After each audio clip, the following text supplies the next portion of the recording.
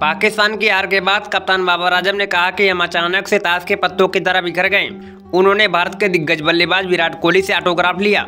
जी हाँ दोस्तों ICC one day world cup tournament में भारतीय टीम पाकिस्तान को एक बार फिर से हराकर जीत का सिलसिला कायम रखा।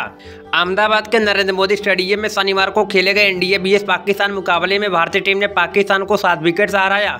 भारत ने पाकिस्तान द्वारा दिए गए एक सौ इक्यानवे रनों के लक्ष्य को सिर्फ़ तीन विकेट खोकर हासिल कर लिया। बाबर आज़म ने कहा कि हम ताश हारकर बल्लेबाजी की शुरुआत बेहतरीन तरीके से किया। उन्होंने कहा, एक समय पाकिस्तान का स्कोर तीन विकेट पर 155 रन था। लेकिन उसके बाद हम और रिजवान के आउट होने के बाद हम आज तीस रन पर छह विकेट गिरा दिए और हम अचानक से ताश के पत्तों की तरह बिखर गए।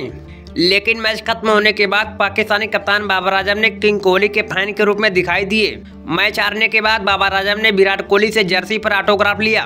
इसी दौरान किंग कोहली ने बाबर आज़म को ऑटोग्राफ वाली भारत की जर्सी दिए। इस वीडियो पर फैंस के कई तरीके के रिएक्शन भी देखने को मिले। एक यूज़र ने बड़ा ही प्यारा रिएक्शन देते हुए लिखा कि बाबर इतना लकी क्यों है? वह किंग कोहली के साथ खेल रहा है और उनसे जर्सी ले रहा है। तभी एक यूज़र ने बाबर आज़म की तारीफ़ करते हुए लिखा कि बाबर बहुत विनम्र है वह सीनियर खिलाड़ियों की इज़्ज़त देता है। तो क्रिकेट से जुड़ी यह खबर आपको कैसी लगी? यदि वीडियो पसंद आया तो चैनल को सब्सक्राइब करें और वीडियो को लाइक करें। तब तक मिलते हैं अगली वीडियो में। धन्यवाद।